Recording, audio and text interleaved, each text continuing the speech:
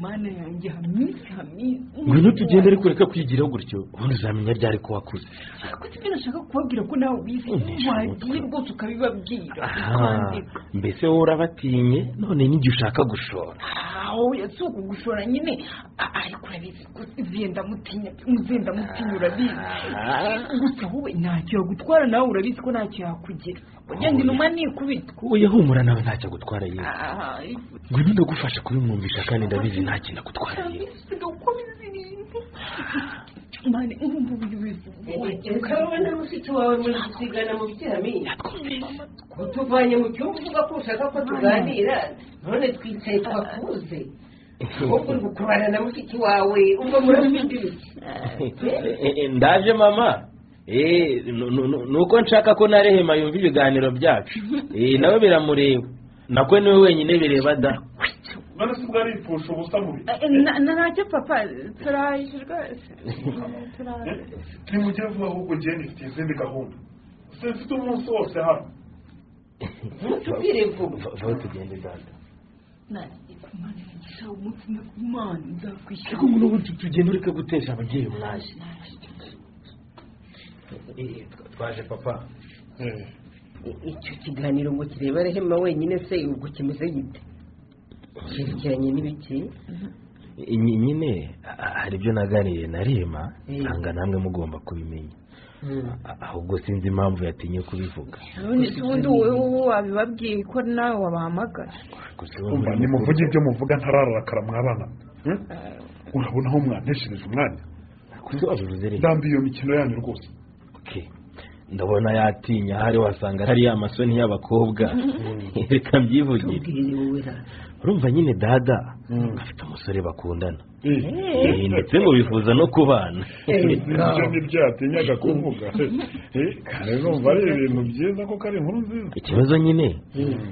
Umusore wa rema afite ikibazo cy'ubushobozi buke. Ubushobozi buke? Kwitonze se akabona uburyo arirukanswa n'iki ngo wasanga rehema atwite bakaba bashaka gusiganwa n'imizi iki papa? Ibyo gusa wowe urabiyoba Eh, reka reka rwose njye nta kibazo mfite. None se. Neza. Ikibazo se kiri. None se ubundi kuki ibi mubitubwiye Ny- ny- ny- nyine n- nashakaga ko nakurebye. Niwe wabinsabye nyine nagiraga ngo niba bishoboka fiyanse wa rehema afite inyubako ari kuvugurura z'ikigo afite cyita ku bana b'incuke papa. ubwo nyine ni bimwe bita irerero. Mm. Eh, ariko ngo abamuteraga inkunga barazihagaritse. Ndetse banisubiriye iwabo mu mahanga? Rwose ngo baragiye ubwo se ubwo ibyo ni byo byari byamunaniye kuvuga? Hmm? hanyuma se ubwo ngewe ubwo ibyo ngibyo byamfasha iki? Nyine? Rehema yarambwiye ngo yifuza ko mwatera uwo musore inkunga akarangiza kuvugurura iyo nyubako hanyuma bagakora ubukwe. Mubaraka nagiye kera ko busa noneho urwo narindiriye ndarubonye. Ndetse no kugura umukwe ngewe si uko mbyumva ariko niba abana bakundana se bakaba bifuza gushinga urugo ndumva twabashyigikira. Mm. wenda bakomeje gutinda hashobora kuba n'ibyo tutiteguye. Mm, simbizi by'inkundo ntiwabishobora Ah, ah, ariko uko ni ugushyigikira amafuti zayina Aha, uwo nyamara- musore utabona ubushobozi bwo gukora ubukwe se? Ubu ubundi urumva azashobora gutunga umukobwa wanjye? Cyangwa buri kwezi uzajya uhaha upakira imodoka umushyira? None si ibibazo ntibibaho bikagera igihe bigashira. Niba ari muri kirize kubera imirimo y'ubwubatsi arimo nayirangiza ntazasubira ku murongo. Rwose. Nategereze nyine abanze yisuganye ajye yatekereza iby'ubukwe. Ariko si ubushobozi kutabubuze wafashije umukwe wawe papa. Nidukomeza gutegereza tukazashiduka rehema yirekuye ibyo ni byo bizaguhesha ishema. Ariko se ubwo azaba yirekura ajyahe cyangwa niyirekura azaba ahimye indi Eh? ubu umukobwa ungana utya ntazi gutandukanya icyatsi n'ururu. Ariko rwose wakwibutse ku iki kigero nawe wakinyuzemo. Niba se narakinyuzemo ufashe umwana rwose. Baba Eh? Mufashe. wibuke ko rehema ari we mukobwa wenyine ufite. Akaba na bucura bwawe. Mm. ni iki wamwima koko? Ifaranga urifite mva ngewe nta n'urupfumuye nzamuha ngewe mubaraka ego. Umva nta kimwirukansa nategereza arangize ibyo arimo maze yisuganye erega no mu kanya muraza kunsaba kuzamuha atanankwereye Oh, ibyo byo ntibishoboka nta n'uwabihingutse ariko ubu ni umusore ngo nubahe nyine yitwa yitwa jiburire iwabo ni kinshasa Kinshasa? nuko akorera inaha nk'umushoramari ariko ntabwo ari iwabo Eh, icyo kigo se ni- ni cyo cyonyine yashoyemo imari Eh. afite n'indi mishinga gusa imwe yabaye ayihagaritse ngo yite kuri izo nyubako amashuri azatangire zararangiye. Ibyo ndabyumva noneho. Hmm? none inkunga akeneye ingana iki? Ngo yari yabwiye rehema ko yamutwara nka miliyoni cumi n'eshanu hafi aho Eh. cumi n'eshanu. Menshi ra yambwiraga nyine ko afite icumi. Icumi zo arazifite. Arabura eshanu zonyine. Umufashe rwose mugabo mwiza eshanu ni amafaranga muri uru rugo koko ndumva wamuha nk'esheshatu cyangwa zirindwi. Kugira ngo adasigara adafite n'utwo kumurengera. Okay gusa nuko mukomeje kumpatiriza ariko umugabo nyamugabo ashaka uko yivana mu bibazo atagombye kwishingikiriza urutugu rw'undi Ah, oya muze aho umugabo aguye undi arenzaho utwatsi ahubwo urakoze ko wemeye gufasha rehema wacu erega ni we ugiriye A- a- a- asante cyane rwose mugabo mwiza imana iguha umugisha alhamdulillah papa urakoze cyane hamisi na mama namwe mwakoze kubyumva no kunshyigikira rwose mwana wacu noneho nshobora kugenda se? Yego papa yego rwose. ariko ntaribagirwa. Umva yego papa. usanzanire uwo musore rwose tuganire tuzabanze tunamenyane mwana wawe. Yego sibyo Eh, ubundi mune kumushyikiriza iyo nkunga. Rwose Eh, genda bimubwira vuba cyane. ihumura Ureba. ntabwo nakubabaza mwana wanjye. Ega nari nabikubwiye ko atari bubyange Eh, azamuzana vuba rwose muzehe Eh, kandi ndacyagushimira cyane. Asante.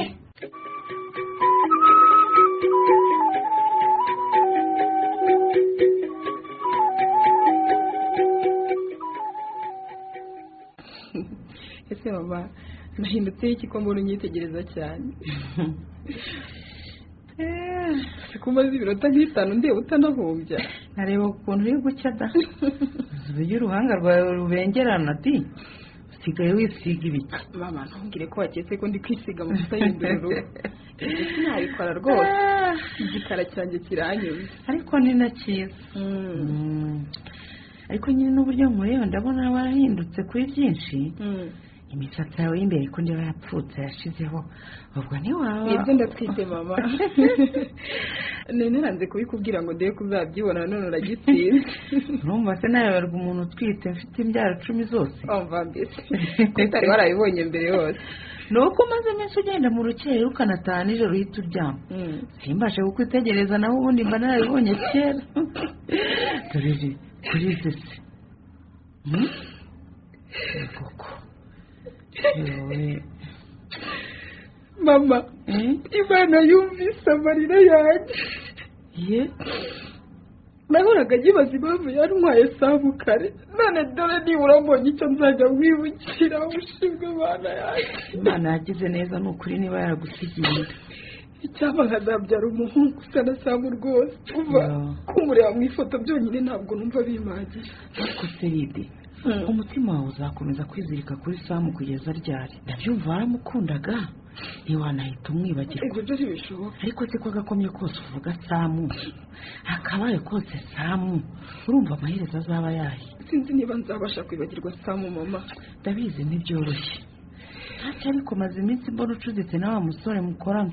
Wenda azagufasha kwikuramo samu. Mama Hmm? samu yari umugabo wanjye. Ndabizi. Twabanye dukundanye. Nubwo tutarambanye ihangane mwana wa ihangane ni ukuri ntacyo tuma rero mwibagirwa. Yo.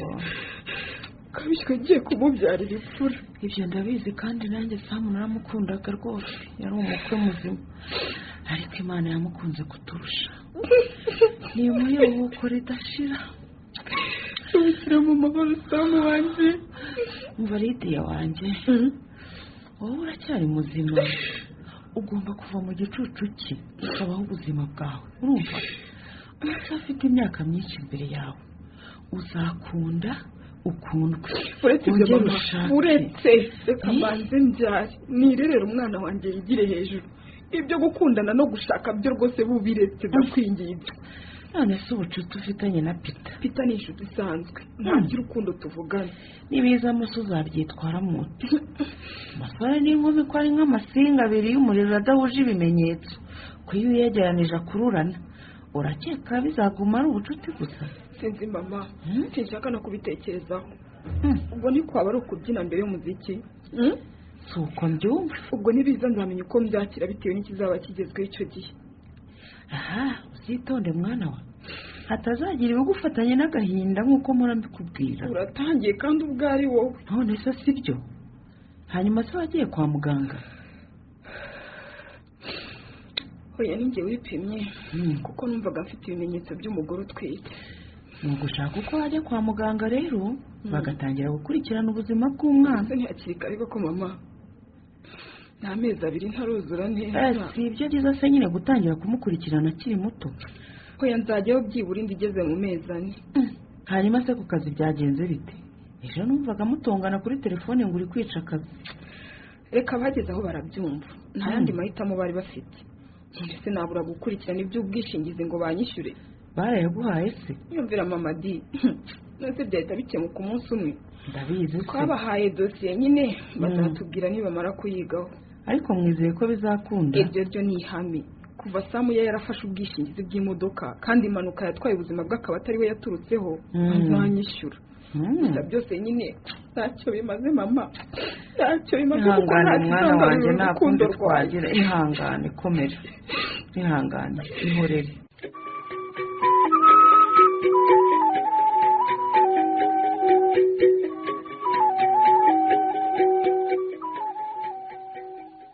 Habari ndugu yangu? Ah, meza mzee wangu. Eh, makuru meza kaza. karibu tena. Eh murakoze murakoze cyane mzee ba nishimiye kukubona rero Eh. eh, wiyumvemo ko hano ari iwanyu rwose ngo uhaye ikaze ah Eh. murakoze cyane cyane cyane Eh, eh eh, ni wowe umukobwa wanjye amaze iminsi ambwira ko wamwibye umutima. Ah ni mimi mwenyewe. Rwose ntabwo mwibeshye Eh. ntabwo mwibeshye rwose. Ah, Eh. Eh, umukobwa wanjye se uramukunda nk'uko nagukunda? Ah ndiyo mzee ndiyo Mm. kabisa. Rehema ndamukunda cyane cyane cyane nifuza ko yambera mama wa batoto Ah, mama wa batoto okay. Agikomokaye. Ukora akazi bwoko ki? Navukiye kinshasa. Kinshasa Kinshasa? eh? yego. Eh, ariko nyine Hmm? eh, ngenda ntura ahantu hatandukanye kubera Eh. eh! Wewe uko Eh, ndi mshoramari mshoramari Na- Eh, mshoramari. nakubali nakubali Eh. Eh, eh, nagutumyeho rero ngo tuganire. Ah, tumenyane nk'umukwe na sebukwe. Eh, rwose nta kibazo Eh. nta kibazo. Umva icyo ushaka cyose. Mm. icyo ushaka cyose kumenya na niko karibu kukubwira kabisa. Mm. hanyuma se wize wize nk'iki? kamusa nize amashuri abanza kamusa. Amashuri abanza? gusa gusa mse Ah. Mimi ni yatima. Yatima? ababyeyi banje bapfuye ndi umwana mutoya cyane mudogo Oh, cyane cyane pole sana Eh. mkwe wangu. n'abavandimwe banje bose Oh. bose barifariki Ba- Mm. ba- bari gupfa mu mazi mu Oh. mazi bose bakarawama bose bose baguye mu mazi bagashira Oh. bose ubu rero sinari kubona ubushobozi bwo. Mm. gukomeza amashuri Mm, ndabyumva rwose ntibyari koroha yego yego Ah, mtoto yatima eh kwa yatima eh ubu se ninde wakureze sha Ah, Mm. eh, miye nje nakuze ndi umwana wo ku muhanda Mm. muhanda barabarani kabisa Ah. Eh, eh, myaka myinshi cyane myaka Mm. myinshi cyane Mm. Eh, rimwe ndarwara nje ndaremba. Oh, umuntu mwiza njyana kwa muganga. Ah, uwo muntu mwiza se aracyariho Eh, uramwibuka arahari ariko kinshasa. Mm. kwa kinshasa. Eh, ndiyo. ndiyo umva na- navuye kwa muganga. Mhm. eh, a- anjyana iwe mu rugo Naam, naam. niga gukanika mekanisiye Ah. eh Eh, uko mekanisiye Eh, mécanicien mimi mimi mimi Ah. mimi niko muka Ndiyo, mécanicien ndiyo, ndiyo. ah maze kubimenya naje nja gukora mu garage Mm, garage naam, Eh, mu naam. garage Ah, ndumva waranyuze muri byinshi Eh, rwose byi- byinshi sana byinshi waje kuba umushoramari gute se Eh, Hmm? eh, muda moja imwe Mhm. nje nakoreye umuntu w'imodoka Mhm. yayibagiriwemo dorari nyingi sana. Dolari dorari amadorari menshi menshi cyane harafu? Eh,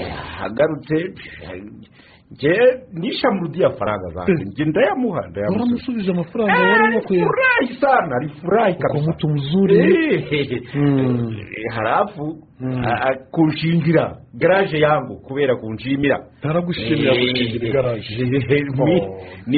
nani ku- ku- kuwa Okay. mwenye mali Okay. kabisa kabisa kabisa Eh, Mm. eh, hmm. ubundi se uresererero bambwiye Eh, shure ni iyihe mishinga yindi washoyemo imari? Mingi ifite imigabane muri banki mingi sana. Mm. no mu ruganda dukora imitobe. Kinshasa. Wowe pale kinshasa. Eh. Mm. Eh, Wageze kuri urwo rwego? nina niko na societe ya ya ya, ya, ya transport. I- itwara abantu hano papa rwanda mu rwanda hano. Hano mu Eh, Rwanda. Niko mfite imodoka ebyiri ebyiri imodoka ebyiri zitwara abantu mfanya ko biashara umuntu ukomeye. Mm. Ndumva- rwose o- warashoye ahantu hatandukanye. Ni byiza cyane rwose. Mm. rwanda Eh, Eh, hanyuma irerero ryawe ngo abariteraga inkunga ngo harya barigendeye. Yego yego yego gusa bagiye maze gutangira kuvugurura. Ah, Eh, iyi nyubako nyubako. yangu kabisa. Gushaka abandi. Gashaka abandi. Abandi baterankunga Eh, yego yego. Genda byumva rwose. Yego. Ubwo se imishinga yawe ntiyahagaze. Oya oya oya oya pana hapana Mm. Eh, ayo iyo mishinga yinjiza amafaranga biashara yinjiza Mhm. ndi kukoresha nubaka Mhm. nubaka nyumba yangu. Mm. Muri banki niyo ushaka gushyira ku isoko. Mhm. Ah, ngo isaidie inyubako irangire vuba Ah, Eh, iyo mugabane yihorere ehe. Eh, okay. Mm. ndagushakira miliyoni zirindwi Eh, wewe mzee mwiza mwiza cyane mzee miliyoni saba saba. Saba. Urangize Ah, kubaka. Urangize kubaka rwose. kabisa. abana bagaruke kwiga. Eh. icyo ni igikorwa cyiza cyo gufasha abana. Eh, mzee Eh, uko ubwo ntabwo rwose ngewe nakwanga kugushyigikira kuko sana, nkunda gufasha imfubyi sana. Mzee mimi nafurahi Huko Allah, mtoto a- yatima. a- aguhe migisha myinshi myinshi myinshi myinshi. Ngakubarike myinshi migica myinshi myinshi ese ese rehema yihishe di hamisi. Hamisi. Eh, rehema bwira bwira mushiki wawe azaganirize fiyanse we di Eh, musalimie musalimie. Niba nanjye yari yatinye ndabaha rugari ibyo nyina muganirizaga birarangira ariko najya gutaha mumbwire nze muhe sheke. Mzuri. Nakwanga akarine ka sheke nibutse ko kashize reka ngende nyabikuze ndaje Eh, mzee eh, eh, eh, kabisa asante Sawa, asante nakuja, asante asante asante sana nakuja sana. sasa hivi. sana kabisa. Eh, ubu ngiye kuba umukire Eh, eh, pa- eh, mimi- mimi- eh, faranga. Mimi nitakuwa mtagire faranga faranga. Sana vizuri kabisa.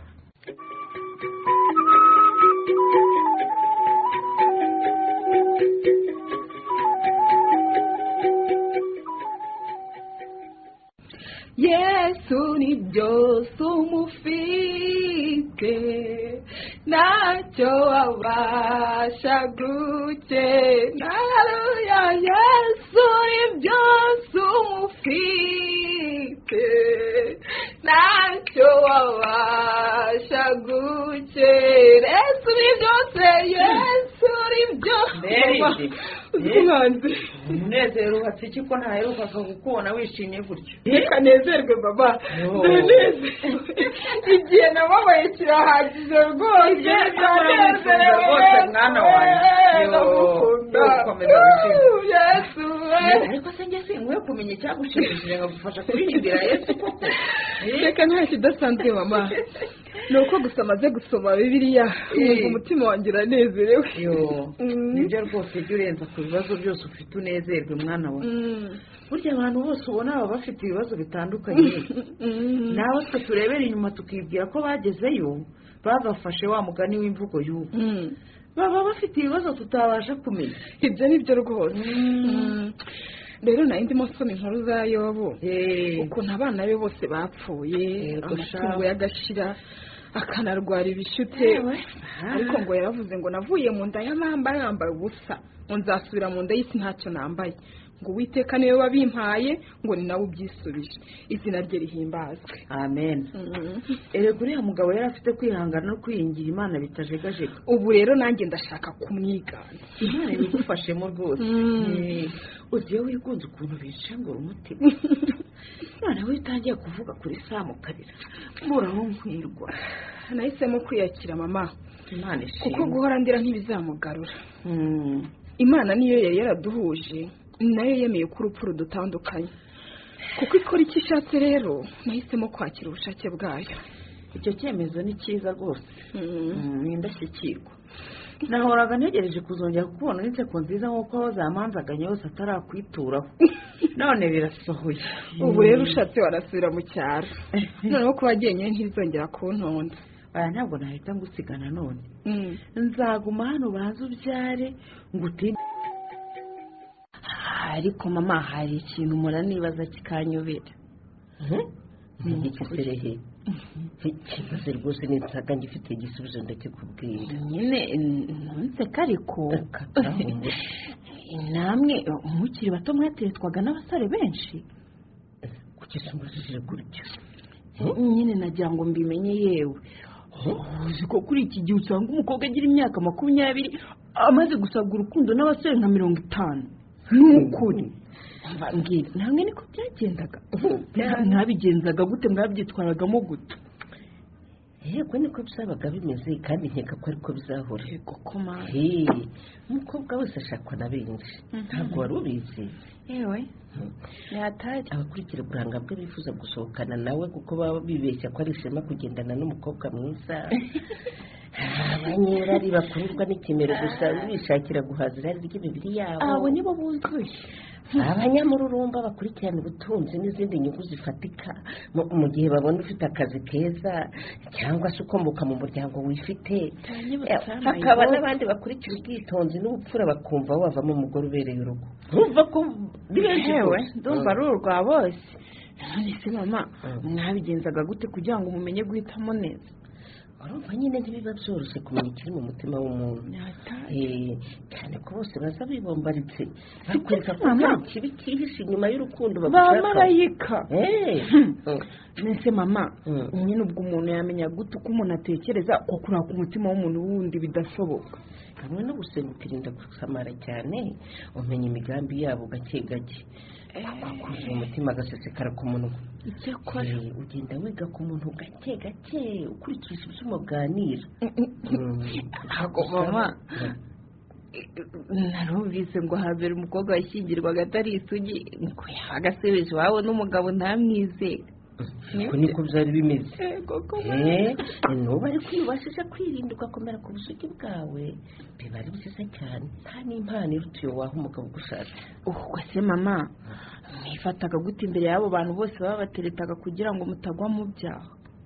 Icya mbere twe twirindaga guhurira n'abasore ahantu hihishe. Mwaganiriraga ese nk'ibi byateye usanga umusore agira imyaka cumi n'umunani ajya kwibana ntibizabagaho. Eee Eh, umusore yabaga iwabo yakura bakamuha umunani akubaka ariko akazataha mu nzu yamaze gukora ubukwe. Nise mama ubwo mwabasuraga iwabo? Ntabwo reka reka iwabo ntitwapfaga kuhagera. Ngaho. Hmm, twaganiraga duhuriye nko ku kiliziya cyangwa ku mugezi. Mbega kera wari aho umukafiri abandi bareba.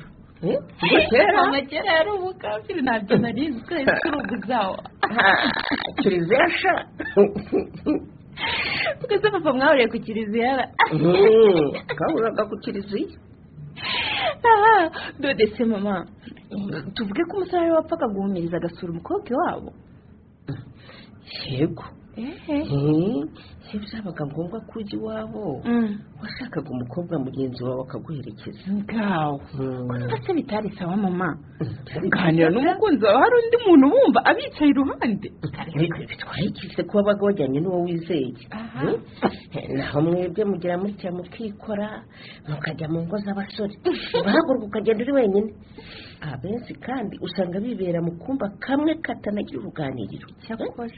Bakabakirira mu cyumba cy'uburiri. Hmm? Urumva se mu gihe ibishuko bitoroha guhitamo bigwamo ni ukuri ni byo niko bimeze pe ariko ubu nanjye nize ubwenge nta muntu nzongera gusura iwe njyenyine ni byo rwose mukobwa wanjye rwose Hmm. niba imana yaragufashije ugatandukana na jiburiri utarandavura ubutaha nuramuka ubonye undi mukunzi ugomba kuzitwararika urumva ntuzankoze isoni dore ni wowe mukobwa wenyine mfite ujye ubyibuka rwose humura mama tuzi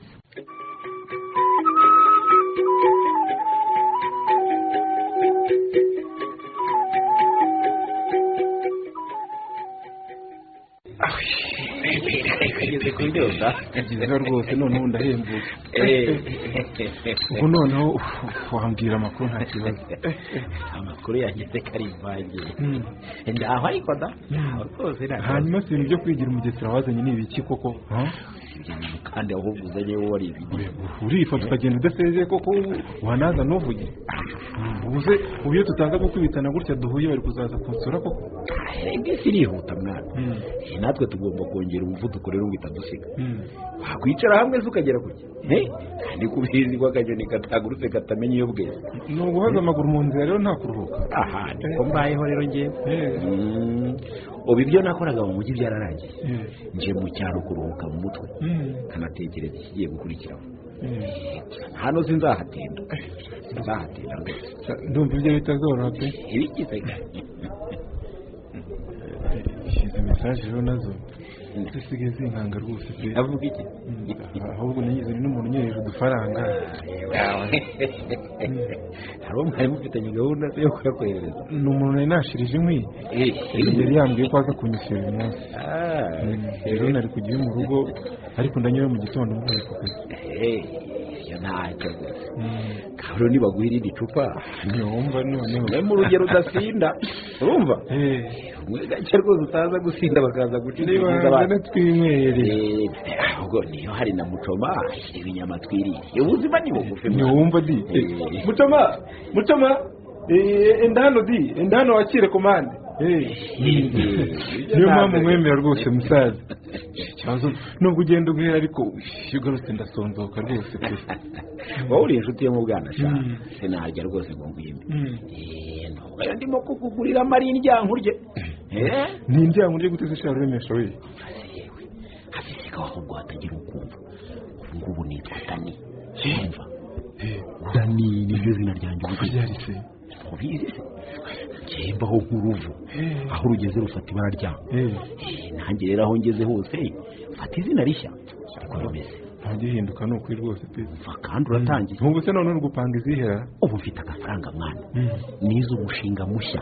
Mubwira se nanjye ngufashe mani gusa ariko uzame ku nyungu. Ubu ndi umushoramari Mm, hanyuma se ushobora yuko ugiye kumeruka warakubiswe nkanjye kandi. Ubushize twahuye wihuta.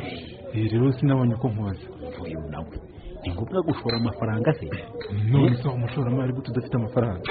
Nshora urukundo nkayora inoti cyamani icyo tumva ni iki gute se ko numva bindenze none. Wumva Mm. nishaka abakobwa badafite. Eh, nkababeshya beshya ko mbakunda ubundi namara kubinjirira neza Mm. bya fureshi urumva neza? Eh. utwabo nkadukusanya ngaca. Eh, eh, umwana eh, w'umuhungu eh, nkabereka eh, ubworo eh, bw'ikenge n'ubu hari uwo nyabugereyeho eh, Eh, nuko narinje kureba umuja mugomba kunkorera irangamuntu y'impimbano. Eh, eh, eh, arimo arayinkorera eh, ejo nzasubira mu mujyi urumva? Eh. ni tawuni eh, nkomeze tiro ubu nawe mukenyeze rushore cyamani.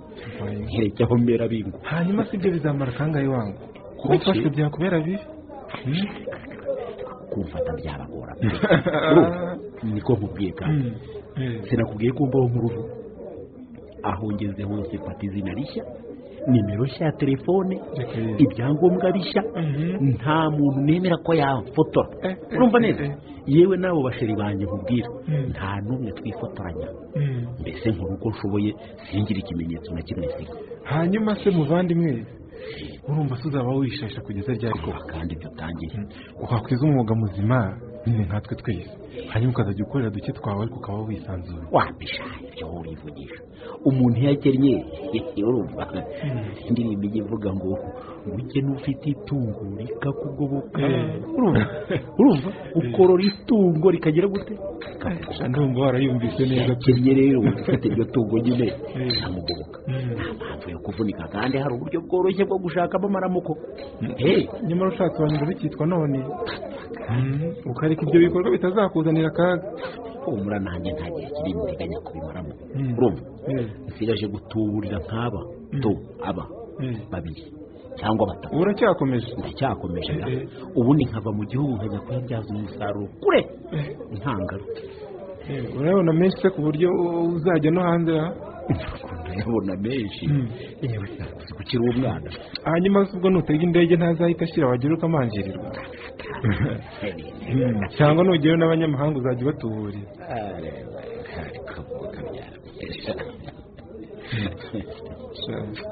ahubwo se wowe ko wivugishwa gutyo itike y'indege nangahe wa muturage we? Eh?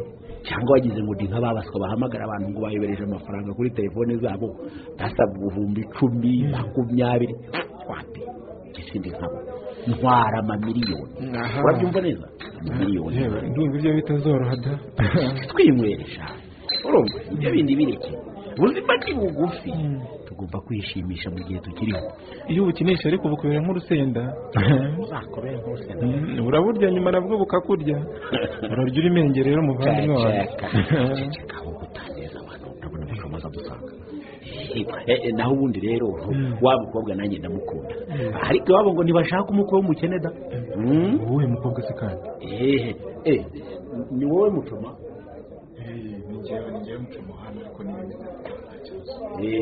Mba genda ushyireho inkoko kandi urebe nini urumva? N'ibitoki nk'umunani. Hanyuma ugerageze kugira vuba ariko ndihuta. Urumva sha? Ngaho ihute ukwakonye kwabo genda.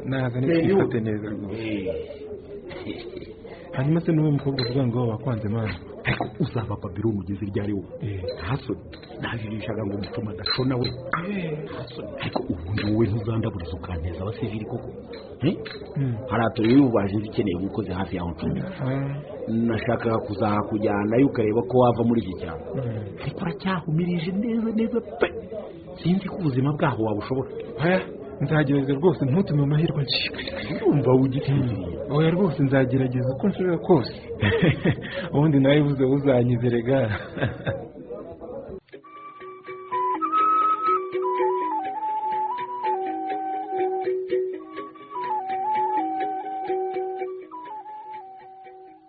niko se zayina ndakumva abana bagiye ko ndeba batinze gutaha. Hmm? ubu ntibaba bahuye n'ikibazo ntitubimenye. Oya nta kibazo bafite. Ndahazi aho bari. None se ushyigikiye ko bageze saa yine z'ijoro bakiri ku gasozi? Hmm? ubwo ni uburere iki twaba tubaha koko? Bari hafi kuza oya byose njye simbyemera rwose. Hmm? nubwo baciye akenge ariko mu gihe bakiba muri uru rugo rwanjye bagomba kugendera kuri gahunda nshaka. Uranyumva neza? Ndabyumva rwose kandi na yo sinshyigikiye ko bata umuco na Mm, nuko bari bansabye uruhushya rwo kujya mu imurikagurisha.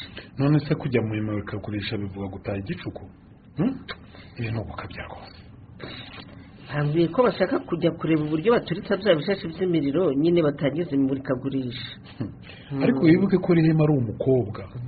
Kumuha uburenganzira bwo gukora icyo ashatse cyose bishobora kumutera kuraruka. Yajyanye na musaza we ariko ndumva nta bibi yajyamo. Na hamisi se ntumwizera ariko se kuki hamisi asigaye akunda gusohokana na mushiki we cyane ra Hmm? azatuma amenyera utubari cyane nawe aziga imico mibi yo gukura ibyinyo. Nako ngo ni ugusereyingara aha. E- erega rehema yarakomeretse cyane. Musaza we rero aba agira ngo arebe ko yagarura morali Eh, Hmm, kuba wenyine bituma akomeza gutekereza ku byamubayeho agaheranwa n'agahinda.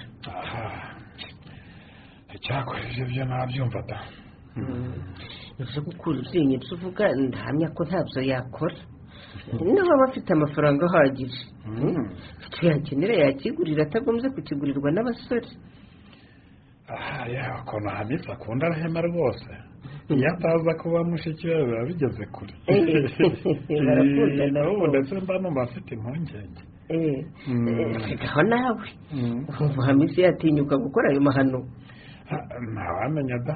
Ibyo bisigaye bigenda nta maguru. Reka reka umuhungu wanjye ndamwizera ntiyatinyuka kwiyanduza atyo. Kuri mushiki we noneho bose rimwe Eh? Ah, reka twizere ko nta kibi cyaba da.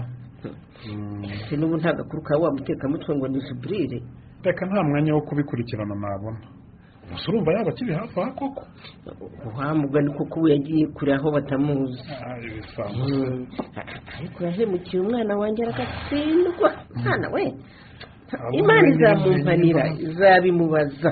Mm. amafaranga ye wenda umuntu yazashaka andi ariko ukuntu yashenguye umutima wa rehema. Hmm. mureke se izamwereka Mm. iyo ntibabarira ahubwo ihora hose none se ejo uzabona umwanya tuzajyane kureba jariya? Ko yavuye mu bitaro se waretse tukazamusura twitonzera ubu urantunguye rwose. Nari mfite indi gahunda. Aha. I- iyo asubiye mu bitaro ko? Hmm, asubiyeyo burya ngo yageze mu rugo aho bamudoze harongera haraturika. Yewe. Nabyo yababaye di. Kandi ngo iyo bigenze gutyo noneho bakudoda nta kinya. Niko nanjye mbyumva ariko nta kuri kwabyo mfite.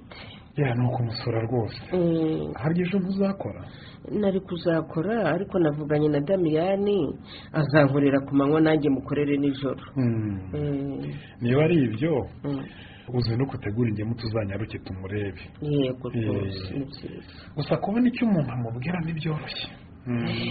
ageze gupfusha umwana none uruguma narwo rumugejejeyo. Aha birarenze. Aba mube hafi pe. Mm. none se ko nta wanga uko abaye? Mm. kwa padiri nibo bavuga ngo dusabe inema yo kwihanganira ibyo tudashoboye guhindura.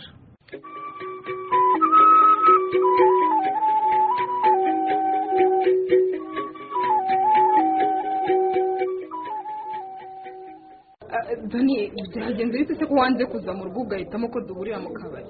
Oh nashatse ko dusangira agafanta. Hanze iwanyu ukanyakira none kuko wanze kugira iwanjye ngo nanjye nkwakire no kukuzana hano nyine ngo nanjye mwiteho nageze nabi se? Ahubwo se n'ibindi se? Tumenye icyo ushaka nta kibazo. Ibyo byose ni njye bibazo. Reka wowe. Niko bimeze rwose. Ushyizemo akantu ko kumbeshya. Iyo ntabwo nkubeshye ntabwo nanze kuza iwawe. Ni akanya kaba kambanye gato.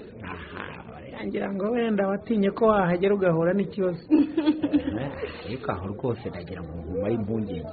Nta kibazo wagira ugeze iwanjye. Iwanjye? Ni hazima rwose. Ndagukunda yego.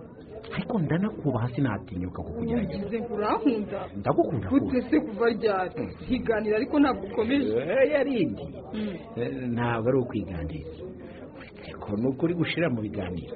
Rwose. Mm, buriya ndagukunda kandi cyane. Ntubwire guki ko numva binyobeye. Bikugore si ngombwa ko nawe unkunda Ah, wenda ntibyanashoboka ariko ariko ngenda gukunda ariko dani kuki koko? Kuki? Si Hmm? Hmm? ibyo natinyaga biranze bimbaye ibiki? Ibiki watinyaga? Se mbigenze n'imana yanjye? No no no. Ntibigutera ikibazo rindi kunkunda si itegeko ntabwo mbiguhatira. Njya nkubwira ko niyumva nta kindi. Umva neza? Rwose ntibizane inkomyi mu bucuti bwacu? Kuki? Koko wakomeje kwihingamo urukundo rudashoboka? Ndabizi ngo niba rudashoboka nyine nta kundi nabigusobanuriye tugihura ko ndi umugore n'ubwo umugabo wanjye atakiriho no no no no no. Nanjye sinzi uko byagenze sharide numvaga tuzakomeza tukibera inshuti bisanzwe. Ariko igikundiro ufite icyo cyamvangiye. Nisanga ibitekerezo byageze kuri aho ntakekaga nkuhishe uri mwiza ugira urugwiro urubaha. Ni ukuri umugabo utakukunda sinzi uko yaba ameze ndanirekeraho ndakwinginze. Rekana nigendere sinshaka gukora Oya, oya, oya, oya, oya, no, no. kandi nta bushobozi mfite bwo kuyaka ridi ujya hafi sigaho wisiga ndabigusabye basi nitwongere Eh, ntacyo gumana nanjye akanya gato. Nitegereze urwo ruhanga rwawe urehemure bwanyu sibyo? Ndabizi ubu ntuzongera kunyura dani waretse ibyo bintu tukabireka koko? Dani wafashe ibintu uko bitari rwose gute?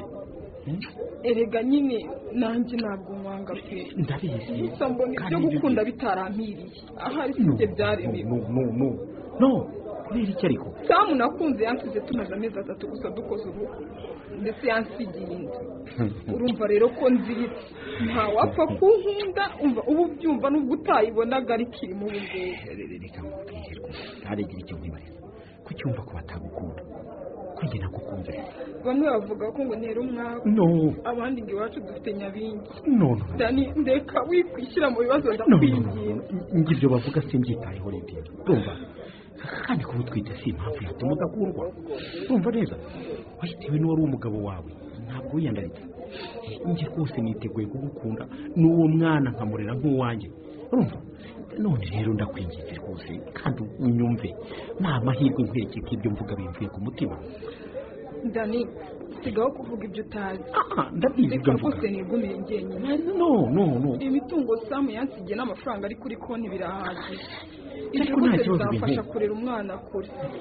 Ibyo gukundana binaje byaba kera kera cyane ntabwo ari ubu. Ngubu lidiya lidiya nyumva ndakwinginze. Reka dukomeze tube inshuti nk'uko twari tumeze. Nabyo ndakeka ntacyo bitwaye.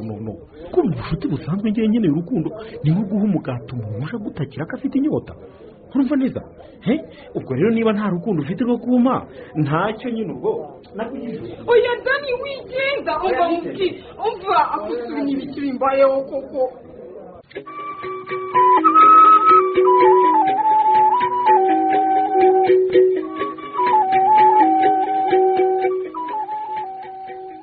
nikuze rihe karame mama. Wongeye kugarura wa muco mubi wo kwigunga. Hmm? Uzi ko kuva mu gitondo utarasohoka mu cyumba cyawe hmm? ntiwanyoye icyayi mu gitondo. Ntiwariye saa sita. Ubusa urabona utakwicwa n'inzara koko? Reka mama n'insonza ndarya koko kuki kibyira akomeje kungarukira mu buzima bw'atsi. Nari nzi ko uzazibwire wabyibagiwe ariko mama. rwose ibintu ni ibishakwa katari amagara bajya ku isoko bagahaha urumva. Tekeraho gutekereza ku mafaranga yatwaye. Utabonye ibigenda ntabona n'ibigaruka. Mbega ikibazo si amafaranga mama. None ikibazo ni ikihe? Ikibazo ni njye ubwanjye ngo ikibazo ni wowe ngewe rwose. Ushatse kuvuga iki ubwo ngubwo. Mama Mm. nsigaye numva mfite ubunebwe. Eh, numva nakwiryamira gusa yewe no kurya simba numva mbishaka rwose. Rehe mbabarira usa nketse ntibibariye nakwicwa n'agahinda. Mbabarira mama. Rwose nanjye u- utikire he byarangwiriye uratwite koko. Hmm? mbwira. Yego mama. Kuki koko warenze ku mpanuro zanjye no ku mahame ya korowani? Hmm? wansebeje pe. Mama. Reka nkubwise kuri uri umubyeyi wanjye ngaho mbwira jibri naramukundaga cyane. Ndetse wibuke ko twiteguraga no kubana. Ubwo yari afite indi migambi njye sinabimenye. Nari natangiye rwose kumufata nk'umugabo wanjye. Niyo mpamvu nageze aho nkirekura nkamwiha wese. Sinari nzi ko bizagenda uko byagenze rwose. Ni ukuri mbabarira. None se niba kwifata byarakunaniye? Wananiwe no kubara. Ntubizi rwose kubara byarancanze kuko n'ubundi urabizi najyaga ntaruka ukwezi cyangwa biri ntarajya imugongo usumva wabara gutyo bikavamo. Na yanjye we. Rwose byaranze ubu koko so nabyumva noneho ndamukizwa n'iki? Urariye nkoreye ntubuze byose mukobwa. Mbabarira mama ni ukuri sinigeze nifuza kuguteza ibibazo inkuru maze nshakira udufaranga duke hano papa atarabimenya ndakwinginze iyo nerekezo rwose ntuzazira amakosa yanjye mama ugize uti iki mwana wawe Hmm? urashaka kujya he urava iwanyu simbizi mama. Rwose simbizi. Gusa ndaza kuhatekereza Oya. wowe icyo ngusaba mfasha kubona itike umena impamba nkeya ibindi nzabyimenyera. N'ubundi ibibazo bije bizira rimwe mama ukuntu nanze sumani. Ngo cya kibwira ni cyo kinkunda cyane nawe we yaramfataga nk'igishoro bishakira muri uwo nibaza amoko koko mana yanjye kuko wemeye ko biza ibyo wibitindaho byararangiye rehe Hmm, naho ibyo kuva hano tubyibagirwe urumva sinakwemera ko usohoka mu rugo nta cyerekezo ujye kwangara guma hano rero. Ibizaba byose mama nzabyirengera amahane ya papa nta musaza wanjye amizi ko nyazi uragira ngo bazayimbya zidakuze reka rwose nikirize amagara yanjye mama reka nigendere pe. Oya nyumvira ndi nyokorehe ndakwinginze. Hama hamwe dushaka uko twabitwara. Wumva kandi nzakora ibishoboka byose ntihagire uguhungabanya. Wumva icyo akora tuzihanganirira rimwe gusa utazabigira akamenyero. Oya mama sinakongera kugira umuntu nizera pe. Simbiriri iriya shitani yampaye isomo pe yampaye isomo rihagije arabeshya ariko Allah azamuhana cyane iramutegereje yakurushije ubwenge nyine.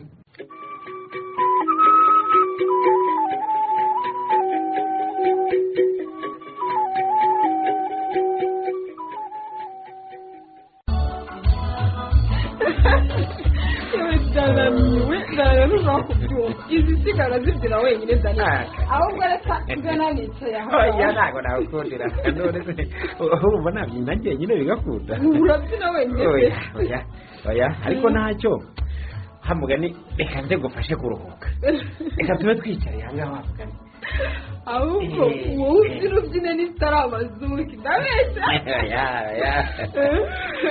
ahubwo reka mwicaye iruhande nako aha. Ngaha iyo ubundi nyine nguhungize umirakuka no kububigiza bizeho uri kubikora kuko daniel iyo ndabikora nyine.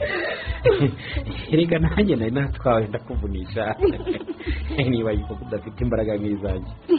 Yewe nta mugabo ndimo pe. Nikunze nirebaho njyenyine. Siniruka kubanza wowe imbere. Mbabarire oya wikwirenganya shuri Mm. Nanjye siniyitayeho ingihe wagombaga kwimenya nakumva ntagiye kunanirwa nkarekeraho kubyina nyine nawe wapimiranyije ucuranga indirimbo nkunda gusa najyaga kwicara akaba yagiyemo akaririmbo nkunda nkakomeza yewe. Umuziki wo mbona twajya imbizi rwose. Eee nkabibonye najyaga ngira ngo ninjye uzi kubyina zuke njyewe nsanze ntawe utoroshye ntabwo ndetse watangiye turayinganyingana buriya reka nkubwire reka nkubwire. njyewe buriya mfite ubunararibyinnye we. Bavuga ubu narayibonye mu kubyina wa buswa reka ikinyarwanda kirakomera sheri ikinyarwanda ikinyarwanda. Mm. Ah, kiri gifisiwe cyane buriya hanyuma rero buriya ngufitiye amakuru meza reka da uva mbwira rero twongere tugire twizere ayo makuru oke nyine mbwira icyo nifuza burya umenya ko ugendana umuntu muri wowe rero kwirinda ibikunaniza cyane ariko dore nawe reba hano no.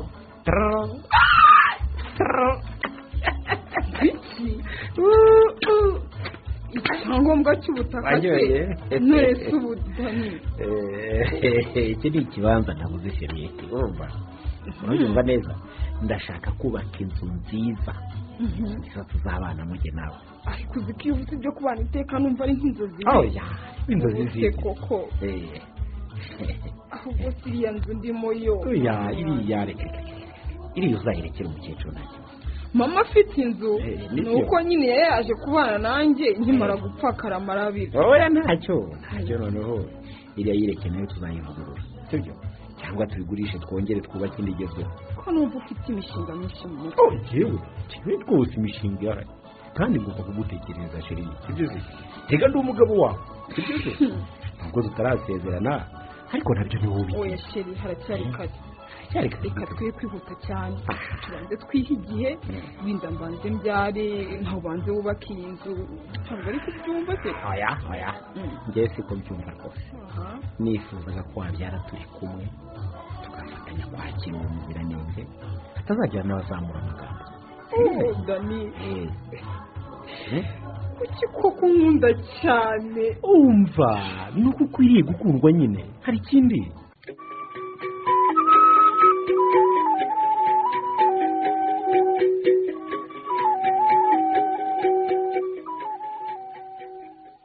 Alaikum Walaikum salam wa rahmatullahi wa barakatuh. Bite se shami? ni byiza papa Mm. Mm. Twatashye kare se ni amahoro? yawe amahoro ntayo n'ubu ndakirukanka kuri bya bicuruzwa byanjye sindabibona Subhanallah. He? None se bakubwiye ko impamvu bitaza ari iyihe? Njye rwose siniyumvisha ukuntu waba warishyuye amafaranga yose hanyuma ukamara amezi angana gutyo utegereje umuzigo wawe utarakugeraho. nanjye biba byanyobeye Eh, neza papa birumvikana. natekerezaga Mm. ntari uwakongera ngatega ngasubira ku cyambu Mm. ariko urabizi bamaze iminsi batubwira ko umutekano waho utizewe ubwo rero sinapfa kwiyahuraho uko niboneye Oya. Ntiwagenda tutaramenya niba imvururu zarahosheje. Mm, Ni ubuzima buruta ubutunzi mwana wa. Ni byo papa Mm. Eh, gusa hari umusore w'inshuti yanjye navugishije ukora mu bya gasutamo eh, yanyijeje ko agiye kubikurikirana akazambwira vuba. Eh, nimbona nawe ntacyo agezeho ubwo nzamenya ukundi mbigenza Mm, Reka twizere ko azadufasha. Ariko nyine kuvuga ni ugutaruka. Mm. uganira na rehima ubona yongeye gusubirana morale Hmm? Ah, kuva wa musore ngo ni jiburi yantwarira amafaranga nkatonganya mushiki wawe. Mm. nabonye yarihebye cyane. Sigaye ninda no kugira icyo mubaza ngo ntamukomeretse yewe njya mbona yarabyakiriye noneho. Hmm. Mm, ubu none hasigaye acangamuka nk'ibisanzwe. Gusa ubona ibyo kongera kugira umusore avugisha ibyo afite azamukundira vuba. Mbese ubona bahunga ngakeka ko babonamo abahemu bose. Haracyari kare ntarakira igikomere neza. Biragaragara. Hmm. kandi nanjye sinifuza ko yasubira mu byo gukundana. Mm, azabanze yitonde noneho ashyire ubwenge ku gihe atazongera kwikururira kabutindi icyakora koko ni byo. Hmm. rehema agira umutima woroshye. Yongeye guhemukirwa. Sinzi niba yabasha kubyihanganira pe. Eh, nanjye nk'uko ubivuze rwose mbona yabanza agatuza akabyara ibindi bikazaba biza nyuma. Eh, billahi minash shaitani rajim. ngo iki rehema aratwite mukaba mwarabimishe ni samiye baba. Birancitse rwose. Hmm? birancitse To- taka, genda nawe nta niko shaka ni samiye ni ni gute uvisha amakuru nk'ayo. Hmm? ubwo ni nyoko mwabigambanye ndakuze mukundana kubi arabeshya ariko noneho ntari bunyire ni samiye baba ibyabaye byarabaye ntacyo twabiheraho ndagusabye rwose ntujye gutesha rehema umutwe umubaza ibintu byinshi. Uru rugo ni urwanjye. Wumvise. Ntawe umbwira uko nduyobora. Aho ntitwabyumva kimwe papa. Kubera se iki niba wumva utakwihanganira rehema umbwire nshaka umujyana azabyarire njye nzamurerera. Ngo iki? Ariko ntujye kumutera hejuru. Uramushyigikiye se? Gutera hejuru umwongerera agahinda ku kandi yisanganiwe ariko ubwo wowe ntuzapfa ubusa sha eh?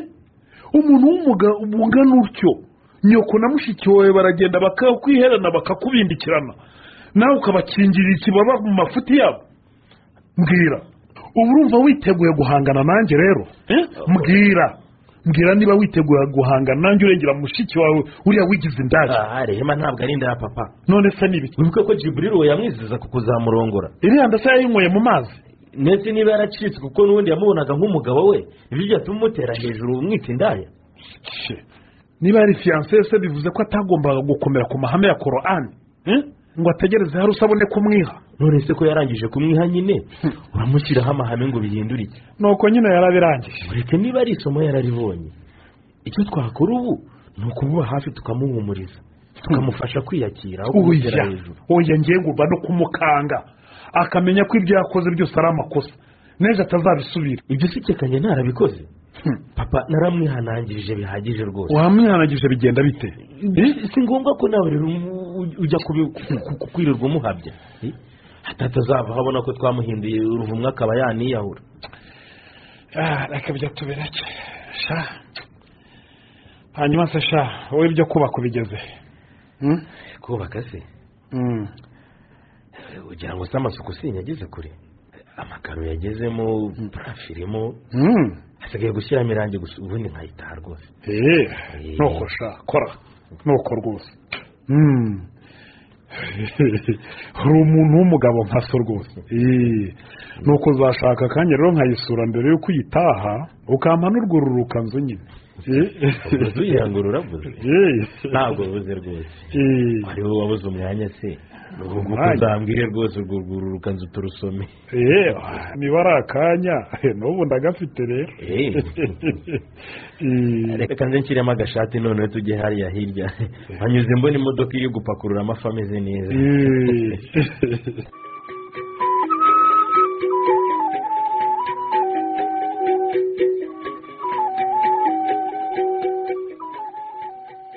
Ariko seride ni iki cyakubayeho ko utakiri uko wari usanzwe rwose? Iyo wabaga wiriwe wamfashaga uturimo uko intege nke zawe zikwemerera. Ukanganirira singira irungu. Ariko uyu munsi bwije utanageze hanze. Warwaye se? None se ko nkubaza ntusubize? Ahubwo ukarera wabaye iki? Mbwira ndi nyoko wa mukobwa we nta wundi ufite watura agahinda. Mbwira rwose ikikuriza. Izanye mama. Dani. impungenge zose wari ufite zari zifite ishingiro ye? Ubwo nari nkwiye kongera kwinjira mu byo gukundana. Ubu iyo mwumvira ko dani yakugize ate se mwana we ihorere niba yanakwanze si we bucura mu bahungu. Tuzi umutima utegereze ubyare wirerera umwana. Iby'urukundo no gushaka ni ibyo gutesha umutwe. Ubyibagiwe. Iyo aba ari ukunyaga gusa ntacyo byari kuba bintwaye yaba ari ukukwanga gusa? None yagutwaye iki kindi? Dani yagiye ye? Ageze aho yabaga. Bambwira ko yari yibutse. Na telefone ye ntabwo icamo fu mureka agende. Abagira iyo bajya baragenda. Erega wowe upfa kuvuga n'uzi n'ibyabaye. Ni ibiki se byabaye? Nzamushakira kutamubura yo gatsirwa n'iya kare. Nyine ndumva hari ibyo urimo kunkinga? Habanje iki se? Hakurikiraho iki? Haheruka iki? N'ubu cya miliyoni eshanu nari mbitse kuri konti mvuga ngo nzazongera ngura indi nzu. Yego. Nyine ziri uko ari eshanu eee dani yazitwaye ngo iki? Ntibishoboka. Yageze kuri konti yawe utamuha ariko ubanza yakurose si gusa. Ubu wageze naho nguha amafaranga menshi gusa. Mama dani yaziye umutima Eh, we. agereka ko nkunda byabuze urugero Eh, eh, eh, eh, ambwira ko yiteguye kubana yanjye atitaye ku mateka yanjye nanjye ngeraho ndamwizera nyine ntabwo nuko ariko byukora bizagera ariko wizera vuba ye mama nawe byakubaho washishirwa wishyurwa ndi ndetse mama.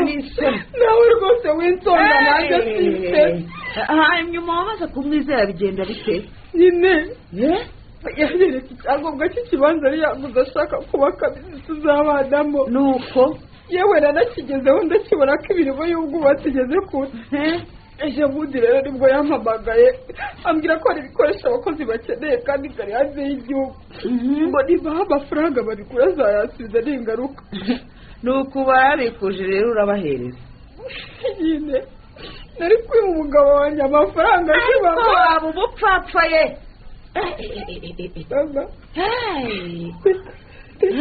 reka ubu n'iki?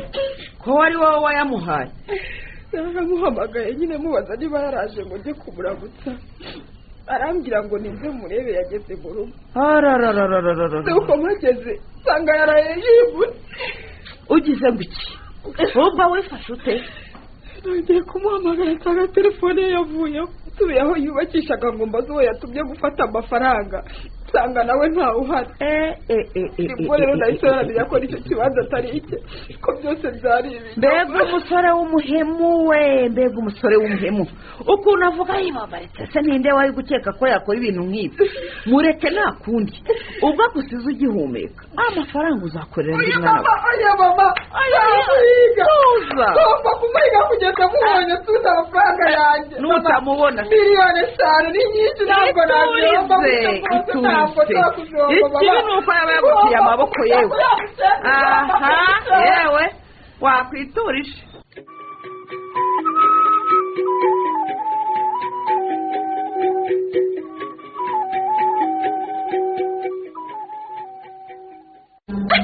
se mwagiye mugenda neza. Nk'umuhungu nzi utandeba. Rwose mbabarira mbabarira rwose ntabwo nari nakubonye intekerezo zanjye rwose zari kure pe ahubwo reka mufashe gutora buri rupapuro gusa ko mbona ukiri muto ukabona agaragara nk'umusirimu wabaye iki gituma ugenda utarariyuki reka buriya byihoreye n'ibintu bishaje wabyiviramo gusa mbabarire ndabona n'impapuro zawe zanduye ariko ntacyo none se wambwiye ikibazo ufite? Urumva ubundi ngiye nibese imbere simbi naha rwose naje nturutse mu bushinwa ni ho nibera mu bushinwa nyine none se byakugendekeye bite ugeze nyine urumva njyewe ndi rwiyemezamirimo nyine nkaba n'umushoramari nari naje inaha rero navuganye n'umuntu ko tugiye gukorana ngende mbese ngashora imari mu mushinga we ndabyumva none rero nageze ino nsanga uwo muturage umushinga utarawandikishije Eh, nsanga ntiyawandikishije mu kigo cy'igihugu gishinzwe gutura amajyambere. Mm, mbese nturemerwa gukorera mu gihugu. Urumva ukuntu atumye utakaza igihe ukageza n'itike yawe di Urabizi. kuki abantu bakora imishinga batabanje gushaka amakuru ahagije? Koko ubwenge bukemugira ihangane rwose ndumva wahombye cyane. Ariko byihorere ndumva ntazi icyo rwose ngewe nakora. Mhm. ndumva ntazi icyo nakora. Rwose ubu rero wisubiriye mu bushinwa? Oh, ba- nari ngiye guhinduza itike nyine. Ndashaka kubanza nkareba ko nabona undi muntu ujijutse twakorana. Nkareka gusubirana y'amafaranga menshi nari nazanye reka da amafaranga menshi rwose none se. Eh. waretse tugakorana. Kunjye ntabwo ukinisha nk'ubu ngubu ushaka ko twakorana wowe? Mm, cyane rwose. Mbese wowe urinde eh? niko? Mu bisanzwe ukora ibiki? Eh, nyine. Njye nitwa Ah. Eh, eh, eh, nkora ibijyanye no kumurika imideli. Ariko mfite n'iduka ricuruza imyenda. Ah wow. Nkesha ndumva ukora ibintu byiza rwose byunguka. Eh, nanjye ni byo nabanje gukora rega mbere. Eh, narabikoze rwose. Eh, cyane niyo mbona wubatse umubiri wawe neza ni byo se ugomba kuba waraberwaga rwose n'ubu biragaragara. Oh. ahubwo n'ubundi unyuzamo wongera umurika imideli birakubereye rwose. Nibyo Eh. ntacyo.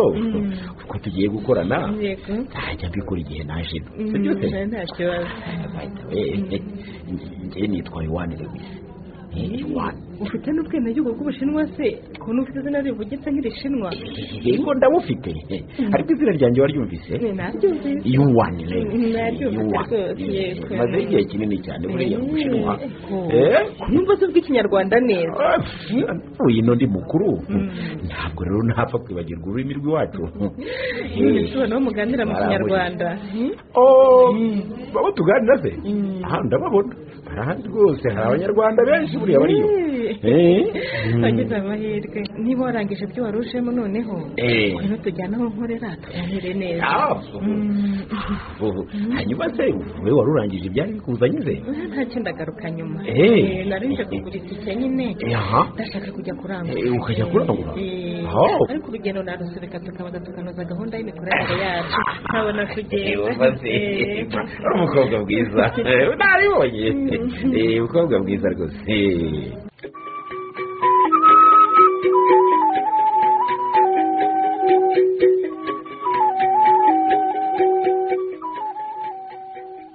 mama mama utano wereke bitaravamo yewe tebuka ubonye ikiwabo we Usanze? kuko manzi umva watinze kuza none usanze bihise we nyine ni mbonye ubona umunyamideli nawe jibrili yatuburiye amutwara angahe miliyoni cumi n'ebyiri cumi n'ebyiri mama ni se ko ntitugurire ko abacuruzi ari benshi banyujeho n'ifoto ye maze ariko ntangajwe no kumva bavuze ngo yitwa niba ari yuwani niba ari iki akubanza ari yuwani abatekamitwe bahinduranya amazina mu rwego rwo Cyakora kwiyoberanya ndumiwe, ndumiwe. Ngo hari n'ababa bafite ibyangombwa bitandukanye? Yewe iriya ni sipesiyare ariko bakora akazi kabi bagatsindwa mama jibril akwiye gufatwa kuko ndabona yarigize akari akagera. Kandi ahabera icyago. Atoborera abagore gusara ariko arabeshya kuri iyi nshuro azafatwa tu. Azafatwa. Ninda wasanga atakiri no mu gihugu? Ntacyo yavuyemo aha matangazo yahise anyuraho Mm. ubu uwamubona wese yamutanga. Uriya munyamideli yashyizeho nimero ya telefone kandi nayifashe. Nzamuhamagara dushake uburyo twafata uriya muswa nyamuneka rehema ndakubujije utazahura n'ibibazo ugeze ute urumva? Ndakubujije. Nakubwiye ko amafaranga ataruta ubuzima urumva? Wibuke ko utwite ugomba kwirinda ibigutera agahinda Eh, ubwo rero n'ibikwibutsa ibibi byakubayeho ugomba kubyirinda urumva kwanza zimwe ahubwo ni- nta kibazo reka mama urabizi Mm, reka nkubwize ukuri. Mm. ndakubaha rwose kandi urabizi.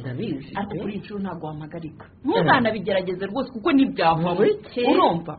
Ngomba nanjye kwiyunga ku muntu uwo ari we wese wiyemeje guhiga jiburire nta mpamvu y'uko yarya ibyo data yabiriye. Icyuya atazanahindukira ngo nibura anamushimire cyangwa se anamusabire imigisha iva kuri allah. Urumva? Ikizambaho cyose nzakihanganira. Icyo nzi ni uko ntazacika intege. Nzashirwa mubonye urumva ariko se mwana wa? Ndakumva. Wagiye ureka gufata imyanzuro idakuka koko?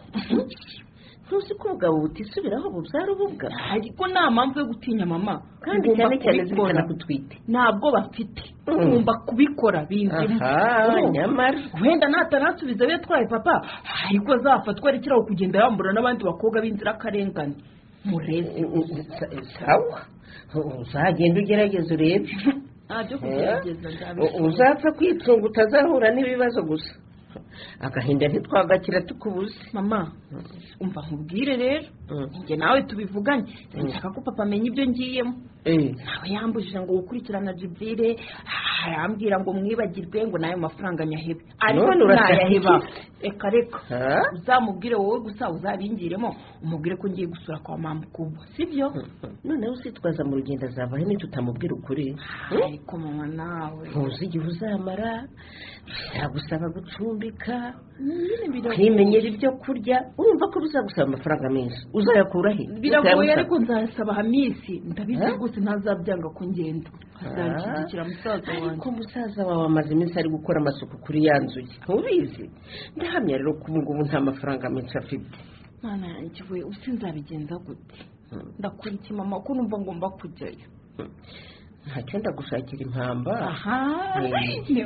Uzagenda wigengesereye rwose humura nzitonda. Mm, uwo mwuzukuru wanjye ntazagire ikibazo. Nawe ukambwira ibyo ngo. Abuzukuru abuzukuru ni ibyo rwose. Mama uyu mwana ndamwanga mwana. Aho sinzi niba nzabasha kumwitaho. Ni uko gukuramo inda ari icyaha. Mbabarira mbabarira mbabarira. Rekeraho rehe rekeraho ibyo ni bibi cyane. Aya ni amaraso yawe ni n'ayanjye kandi N'aya ni Jibril igifite ariko. ubuzima bwawe ibyo ngibyo urabizi ariko ni na yo soko y'agahinda kanjye wowe se. cy'ubugome n'ubuhemu bw'iriya nyakaragata ngo ni jiburire ugatsinda uwo mwana ni umuziranenge ariko biramureba. neza ubizi ntiwamuhora amakosa ya se cyangwa yawe ugomba kumubungabunga kugera avuka. Yavuga ukamukunda ukamwitaho. Urumva? Ntacyo mwishe ntiwamenya. Kera ntiwamenya yenda nawe uzakugirira akamaro. Ma kuko ubinsabye nzagerageza ariko rwose biragoye. Si ukugerageza uzabikora. Oya ugomba kubyumva mwana wawe ibyo nkubwira ni byo rwose. Uwo mwana mwiteho bungabunga iyo nda. Ntukanatekereze kumena amaraso. Na rimwe uwo muvumo ntiwazawukira. Yego mama.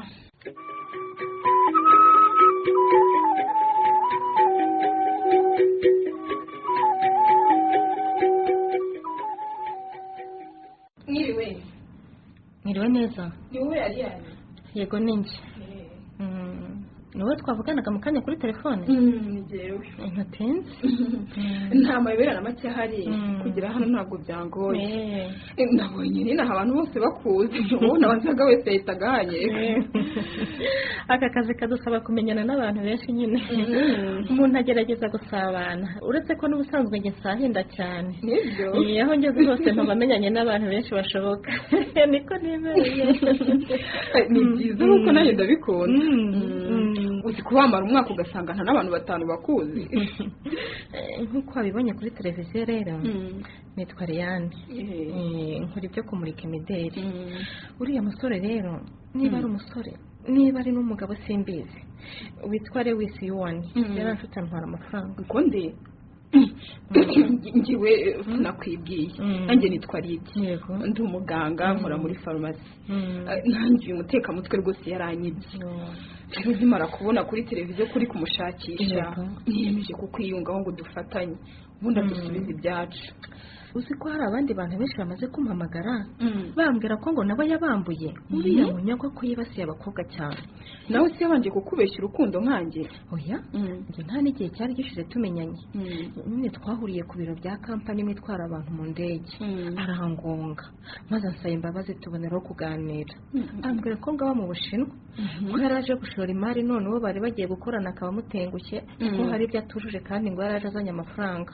Nkumva Mm. ambwira ko yumva adashaka kuyasubiranayo nanjye bamusamiye hejuru musaba ko yashora mu mideli yanjye. Mbega umunyamitwe ubwo rero twazanye hano.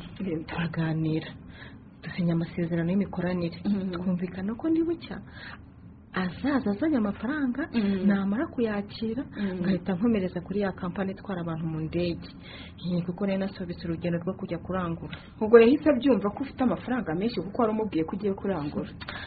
Nanjye niko mbikeka. Bukeye rero yanzaniye igikapu cyuzuye ibipapuro. Ariko hejuru yashyizeho utunote duke tw'amafaranga. Ariko afite ibyo yari yasize muri icyo gikapu.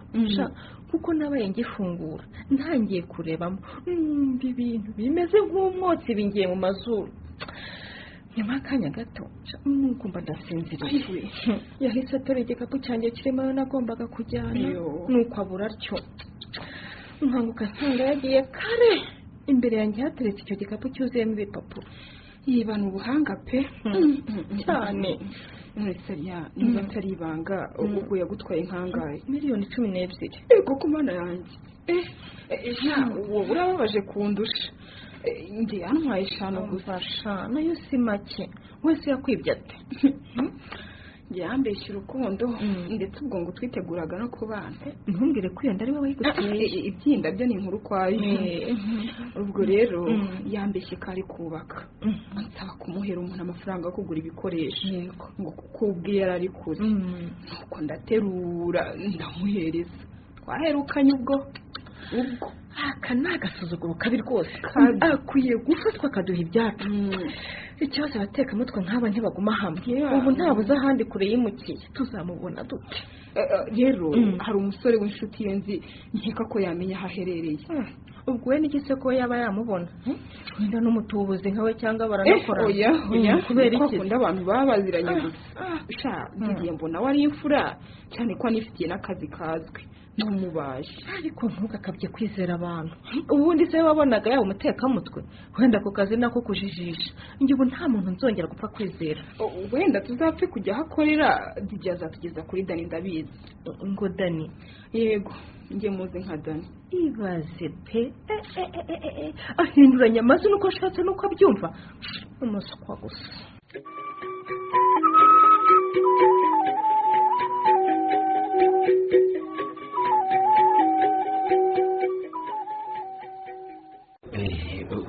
Uraho madamazini yego. Sinakumenya ariko. ni byo ntituziranye. Ariko tubishatse ntibyatunanira rwose. Eh, eh, nshobora kwicara se tukaganira? Niba bitakubangamiye. Nta kibazo. Eh, urabakoze cyane rwose.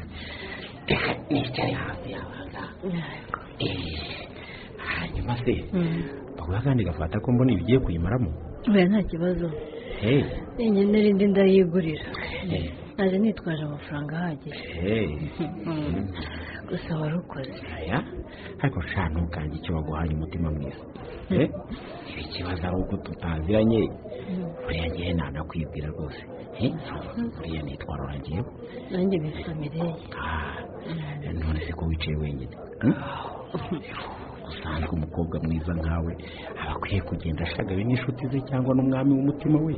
Kugira ngo nasitara cyangwa agatsikira nyine ahita amuramira byose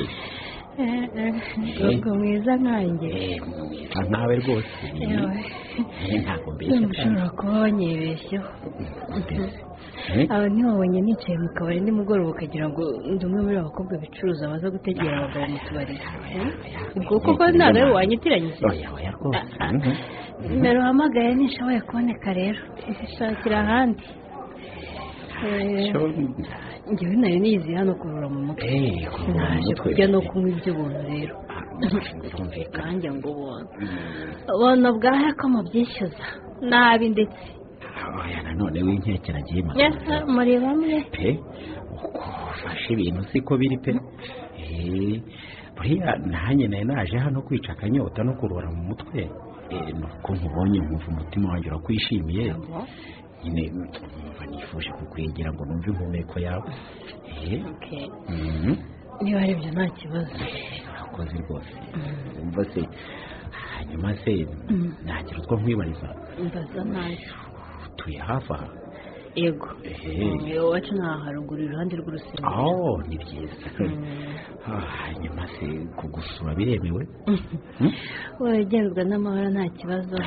Ntabwo twanga Ntagirwa n'inabi abashyitsi urakoze cyane ndagushimiye. Mm, buriya nzagusura rwose. Nibyo. Kandi humura nzaba ngenzwa n'ineza gusa rega Eh, n'inabi byo nta birimo rwose. Mm. Eh, ubundi ngewe buriya ndi mushya muri aka gace. Eh, burya. Eh, ntabwo mpamenyereye.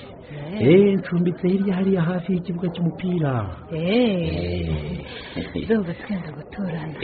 Nibyo rwose nta- ntabwo ubeshya nawe si uracuruza ko bimukira inka benshi baba baje mu by'ubucuruzi. Nibyo se. Cyane. Hano ubucuruzi buragenda.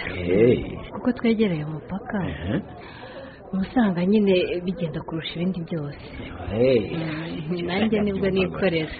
Ntiwumva se. Ubwo rero Eh, babaze neza niba ari bwo waje. Urebye nyine sindi umucuruzi. Ariko n'ibyo nkora bisa na byo. Eh, Mm, bisa na byo rwose. Buriya ngiye biri kwiyongeza birimo Eh, nkaba n'umushoramari ukomeye. Umushoramari ugize ute? ukomeye.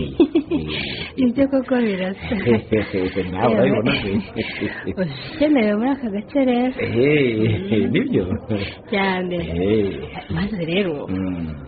Ushaka uburyo wahera ku mushinga wo kutwegereza amazi Eh, amazi hamoda kuko hano dufite amazi make cyane rwose. Ibyo kiroroshye. Bigeho rwose. hari amavomo atarenze atatu. Eh, na yo akenshi aba n'ubundi, adakora yego. kuko nyine amazi aba yakamye. Yego. Urumva ni ikibazo kidukomereye ni we ndabyumva cyane. Kandi shaho Eh. tubivuga kenshi mu nama z'abaturage Ah. tukabivuga mu nteko rusange tukabivuga mu muganda. Abayobozi bakatwizeza ko biri gushakirwa umuti. Ariko amaso agakomeza agahera mu kirere pe. Ndashaka ko udufasha. ntabwo yibeshye rero rwiyemezamirimo ubwo yaje rwose. Birakemuka byose. Buriya biragaragara ko ntibeshye inzira ni impamvu ntabwo wibeshye. Eh, buriya kumenyana nawe ni iby'agaciro rwose. Kubera. Ubu mbonye umurongo ngiye kugenderaho mu bikorwa byinshi nteganya gukorera ino. Nibyo ahubwo uzi n'ikindi? Eh. ndagushimira urakoze cyane rwose. Oh. urakoze? Wumve ngo ndagushimiye Ubu noneho ndakeka wakwemera rya cupa rya fanta byose warinywa rwose uranshoboye pe ni we ntacyo. Ah, ubwo ndikoreye ndarinywa rwose oya ringwere ngwe niba ashaka guhera Ibi ni iby'ubuntu. Eh, Mm, barinde pe. ntiworoshye rero. Ntiworoshye rwose. Ariko ni byiza da. Mm, buriya ngewe ureba. Mm. ni umukobwa wihagararaho. Oh. cyane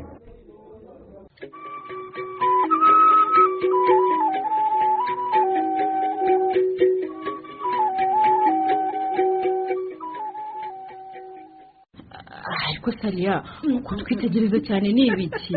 Ndi kureba ukuntu aka kanya mumaze uvuga hasi rwose munyemeye pe ntubizi se ko imbuto ari nziza ku mugore utwite. Segura. zinaryoshye kuba reka mwe ndabona atari gusabwa. Kubanza mwarazitwariye. Oya, genda nawe. reka nzabashakire izindi. Oya buretse gatoya. Reka nawe utatwicisha ibyo kurya rwose. Uretse kugenda. Ahubwo si we. Kumbona umugambi wacu. Nta na kanunu ko kuwugeraho. Kwirirwa twicaye gusa turya. Njye ndumva ntangiye no kubyibuha pe duhindure uburyo naho ubundi ntacyo tuzageraho. Ariko nababwiye ko Didier yadufasha kugera kuri dani murapinga. Murabona tuzakomeza gutegereza ko hagira umubona akabimenyesha Ariane ngo amuhe ibihembo. Ese ni umutwe wo kwirirwa yidegembya mu muhanda nk'udafite icyo yikanga? Ahubwo si we arahataramenya ko arimo gushakishwa. Ibitekerezo koko. Ariko rero ibyo Lidiya avuga ni byo rwose. Nimureke dushake Didier turebe ko yatugeza kuri iyo jiburire uraseka Ariya ariko ngawe ariko woherere duseka ndabona cyasitswe n'ukuntu turi gushakisha umuntu umwe ariko buri wese akaba amwita ukwe gutandukanye n'ukuntu wavuga niba dani lewisi wanti uyu musore ndabona azi ibyo akora pe kumugeraho bizasubiza icyushye ariko muzi n'ibindi noneho nungutse igitekerezo nitujya imbere didiye twese ashobora kuzahita abona ko hari ikibazo akatwima amakuru kuri mugenzi we mureke njyewe ngende muryoshye aryoshye mubeshye ko yanteye inda ko nkeneye ko tujya kwa muganga wenda azagira ibintu mu mwana ntwite ukeneye kwitabwaho no kuzamenya papa we. Ubundi andangira uko nagera kuri dani. Njye simpamya ko iby'umwodide yabishobora. Numva umutima unyemeza ko nawe ari igisambo nka yuwani ahubwo mureke dushake abashinzwe umutekano baduherekeze. Badufashe kumukuramo amakuru. Ahubwo wowe umva nkubwire. Dufashe kuko umenyereye hano udushakire abasore b'ibirara nka batatu beza beza. Bajyane na lidiya bafate didiye bamujyane ahantu bamubaze kugeza avuze aho umushuti we aherereye. Oya we oya sha oya. Ibyo kumugirira nabi byo mubyibagirwe rwose. Ugenda muguyaguya mutera impuhwe. Umva ndabizi arambwira. Oya njye nditwaza abashinzwe umutekano. Mwese ndumva inzira mushaka kunyura zidafututse kandi rwose ngomba kubona uyu mujura mu maguru. Mashya kuko umva umva uzi ko umusa n'utari gukora. Imirimo yanjye iracumbagira kuko yatwaye igishoro hafi ya cyose. Nkomeje gutinda rero. Nazashiduka nakinze ngasubira ku isuka umva mbese. Twebwe tugira ngo nubwo inari heza twaje mu butembere. Natwe ibyacu byarahagaze. Di kuko yadutwaye ibyadufashaga kwikusanya wakabimenye se nyine. Rehe. Haguruka dukore icyatuzanye. Nyitondesha di ndumva ngishonje ego kuko marangi bajya yatwemereye indi nanasi none nawe niyo yazanye. Ndakomeza kwirirwa nzenguruka n'inzara se nikubita hasi kubera isi rero uranyegura. Gabanya indambi nusoza ndaza kukugurira ibiryo ariko haguruka tugende. Tureke gukomeza gutinda ahangaha bitanarangira na didiye nawe tumuha haryo didiye wakora ibiki? Niba atari umutekamutwe nka dani se mushingira ku kimuhamya ko azi aho aherereye. Didiye arabaza. Ni dani wampuje nawe ngiye gukoresha igitanda. Ambwira ko ari inshuti ye ko banavuka hamwe. Dani ni we wamuzanye mu mujyi aho hari imikorere iruta iwabo ku ivuko. None se niba yarakoreraga iwanyu ubu ngubu yageze n'ahati ibyo byo wenda si ikibazo cyane. Iyo hamwe imikorere itameze neza ujya gushakira ahandi. Ahubwo wizeye ute kwaza aho twasanga uwo mushenzi w'umutubuzi? Simbyizeye ariko twapfa kumubaza. Hari ubwo amahirwe yadusigera rwose tugasanga ahazi. Ariko ni byo. Ire mu nzu ntadapfunda imitwe. Twapfa kumubaza tukumva wenda. Ahubwo si we aherereye.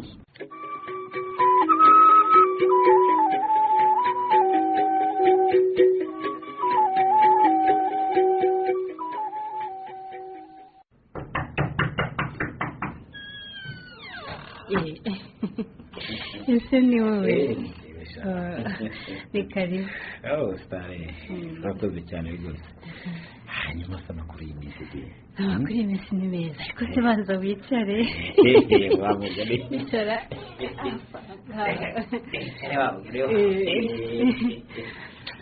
naho ubundi urebye turi aho hanyuma se ko mudusuye bwiza eee ni uko ku manywa nari ndi mu kazi nawe kandi nkeka ko utari uhari nari mpari niba uyu munsi utagiye gushakisha ntasiba wumva se. Ariko se ndakoresheje kuba ngusuye bwije yewe ubusanzwe ntabwo nkunda kugira abashyitsi aya masaha. Nibyo? Abo tumenyeranye bose barabizi. Ubwo nawe nyine ubimenyereho. Ndabyumvise. Ubundi izi saha mba ngeze hano naniwe birumvikana. Hanyuma nkiyuhagira agakora utuntu tworoheje two kugira ngo igifu kitarara gisya ubusa. Hanyuma nkaryama nkaruhuka yego. Ariko nyine utari ubizi ntacyo ndakwihanganira irya none. Reka nkubwize ukuri rero. Buriya ntacyo ubutaha rwose nzabyitwararika. Uzabyitwararika pe ariko se ko no ku manywa uba uri mu isoko ubwo wagukenera yagusangayo koko? Byaterwa n'icyo nshakira.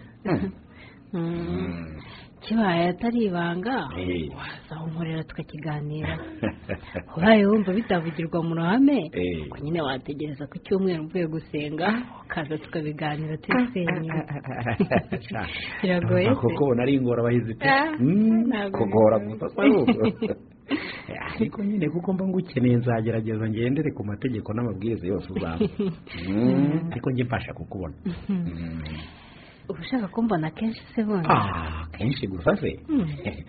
Ahubwo nuko bidashoboka. Naho ubundi? Buriya nakwifuza kukubona buri munsi. Cyangwa se tugahorana ntumva iruhande Eh? ni byo nyamara Eh, ubwo sumva ibyo byashoboka koko. Ntashoboka n'iki nabayeho wazagera ukandambira. Ah, kare kare kare yewe nkurambirwa Mm. yawe sengera koko beshya rwose sinakurambirwa. Bibaho. Eh? Mm. ni ukujya nkomeza nitegereza ayo maso yawe meza. Oh. ameze nk'amadirishya yerekeza mu mutima wawe mwiza. uharaza ubupfura n'ubwitonzi. Urumva neza? Mm. najya mpora nitegereza iyo nyinya yawe. Nkarangarira uburanga bwawe. Mm.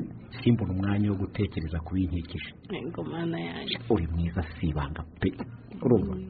Wujuje byose umuntu yakwifuza ku mukobwa. Aherewe umunyamahirwe uzakwegukana ukamubera nyina w'abana. Uri umusizi mwiza gutyo. Njyewe se Ah, Eh. ndabona warasinzirije impano da. Aho kuba umushoramari wari kuba umuhanzi. Yego n'ubusanzwe ku bisigo sinaba uwa nyuma. Ariko nuhaba ntacyo abiziho imbere yawe Mm. sengeye koko benshi inganzo yamutombokana ndetse ntikame ntabwo mubeshya pe Urakabya. Eh, ntabwo nkabya uko uteye kwawe kwihariye Mm. uwabivuga bwakwira bugacya Sigaba. Mm? wenda agasubika ananiwe Ah. Njye biba byandenze icyakora umpaye uburenganzira ikindi ku mutima nakerekana nifashishije ibikorwa Mm. kuko amagambo yose nayabona ahagije rwose. Ntabwo mubeshya Eh. Ah, Eh. ariko ubundi wabuze iki kugenza ukareka gukomeza kuzenguruka uca hirya no hino. buriya ndakeka n'impumyi yabasha gukabaka bikabyumva ko ngukunda byahebuje. Eh, buriya se utegereje nkana icy'ingenzi si ikindi buriya rwose. Pe ni ukugusaba umubano nkundire kandi rwose. Eh, kiri ku mutima ndabikubwiye rwose. Eh, Okay. mm, eh, ndabikubwiye rwose. Wabimbwiye rwose Eh. wabivuze mu magambo kandi humura nabyumviye aha. N'integisubizo rero ubwo rwose. Rero oya? Mm. igisubizo ntabwo ari icya nonaha. Kandi usigaje kubingaragariza mu bikorwa. eh, eh, mu bikorwa? Eh. Eh, ubwo nyine ni bwo nzamenya umwanzuro mfata Oh. hanyuma nzaguha igisubizo reka nkubwize ukuri. Mm. kuba unyemereye ko mbikugaragariza birahagije. Nibyo. Ibyo birampagije pe. Ubwo nimpabwa igisubizo kitanyuze. Mm. ninjye nzaba ninaniwe. Ariko ndizera ko Ah. okay ikikugenza nacyumvise. Mm, kandi nanjye nagusubije. Noneho wataha ukareka nkaruhuka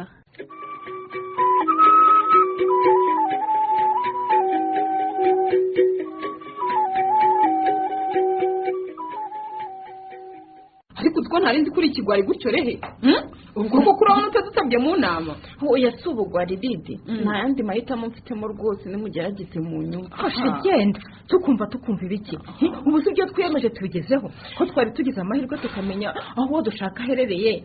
Nubwo ntizeye neza ukuri kwa didi. Wasanga yatubeshye ngo akunde abone tumuva imbere. None ubwo uri kudusezera ujya he? Aho didi yatubwiye ni ho jiburira ari rwose nanjye ndabizi. N'ikimenyemenye ejo nagiyeyo ndamwibonera n'amaso yanjye mwese nimwumva ko intsinzi turi kuyikozaho imitwe wanjijiwe tukaba turi hafi gucakira uwo mujura ngo adusubiza yacu none utewe n'iki gushaka kudusiga? Sha ni birebire ntiwabyumva gusa nyine njye sindara hano. Ubu iki? Ubu mama arahangayitse kuko ntazi iyo ndi n'ukomerewe ese Aha. widucurika twese ukeka ko ntabo dufite baduhangayikira. Ariko byose turabyirengagiza kugira ngo tugere ku ntego twihaye. Si ibyo. Mwigereho rega simbabujije n'ayanjye muzayafate muyigabanire hakoze ubwo kuko igihe hereye Eh? Kuki? urambuye kandi twari tugeze ku iherezo ry'inzira hari icyo mutazi? Reka mbabwire. Njye sinaje kureba jiburil kubera amafaranga. Iki? None waje kureba iki kindi? Urukundo. Wa ahakoze kuba muzima. Urukundo turabizi ko arugira Eh? ko aba yishakira ababeshya ngo abone uko abiba wenda ntarufite ariko njye ndarufite. Ngiye kuko mana yanjye kuri akuri byo ndamukunda. Nubwo yanyeretse ko atankunda by'ukuri. Ariko njye ndamukunda. None se ko wumva ubizi ko atagukunda? Uramaranira iki yegura numvaga nshaka guhuza nawe amaso. Nkamubaza impamvu yansize. Nkamubwira ko nkimukunda. Ndetse ko ko. Nibwiraga ko ahari yangarurira agatima hanyuma uje gusanga bidashoboka ko yongera kukwiyumvamo se. Ntibishoboka. Jibril afite undi mukobwa yakunze atari bimwe by'imitwe. Ndetse namwiyumviye amubwira ko yifuza ko babana akamubera umugore. Ibyo biba ibyo yirwaga ambwira namubwiye ko nuwita inda ye arambwira ngo ntiyigeze ankunda avuga. umwana we aramwemera ngo azajya ampa n'ibyo nkeneye byose ariko ku bana bye ntibyakunda. Ibyo ndabyumva. None se wakwihanganye nibura tukareba ko yadusubiza na make. Ukareka kubura byose. Yegora oya nta mbaraga nabona zo gukomeza kureba Jibril ari kumwe n'undi mukobwa we. Ndagiye rwose. Ndagiye amafaranga si yo yampa umunezero nifuza. Uwo nakunze ndamubuze nta n'ikindi numva kinshishikaje. Izi nizo bita imbaraga z'urukundo se. Cyangwa ni ubusazi njye ndumiwe. Umuntu akubeshya gutwara amamiliyoni hanyuma nubona uburyo bwo kumufata utangire kuzana amarangamutima. Ariya reka guta umwanya kuri uwo mugore ndabona yanasaze si gusa. Mureka akomeze ibye abagira iyo bajya baragenda. Ngwino ahubwo dushaka uko twagera aho danari tudatinda tugasanga naho yahimutse. Ariko rehe umugabo utisubira ko bubyara ububwa. Washyize ayo marangamutima ku ruhande ukaza tukajyana gufata uwo mujura. Yegura. Umutima utankundira gufungisha se w'umwana wanjye we? Nutanabikora twe turabikora. Turabikora rwose. ntacyo uramira hano tugende. Agusubize amafaranga ya papa wawe. Izo nkundu uzazijyana ahandi. Ariko se wari uwo mugore atadukereza koko? Ubabajwe n'amafaranga yaze kumurusha tugenda ugaruza yawe. Uwo wasanga n'ubundi waba bafite menshi. Ahubwo sinzi n'icyamuzanye kandi wumva atarakeneye amafaranga.